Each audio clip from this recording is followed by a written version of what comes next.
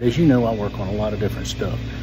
Well, today we're at work and we're working on a 2018 Ford F-250 with a 6.2 liter gasoline engine. We just put a new engine, a new transmission in this truck, starter, radiator, hoses, bunch of stuff. So, got it all back together, got ready to crank, and guess what? Spins over for about two seconds and won't crank. So we'll hook up the scanner, try to get see if it's got any codes for something we may have forgot to plug up. Any kind of any kind of problems that we can see. Looking at live data, don't see anything.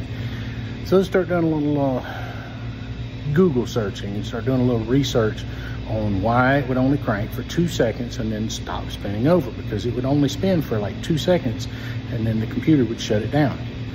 Well, one of the things it said was crankshaft position sensor. If it loses crankshaft position sensor, it's not going to continue to crank.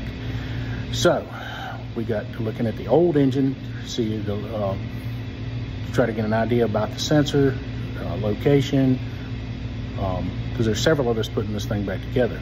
So we located that, we're gonna check the wiring to it, and when I walked out to the old engine to look to see how everything was positioned out there,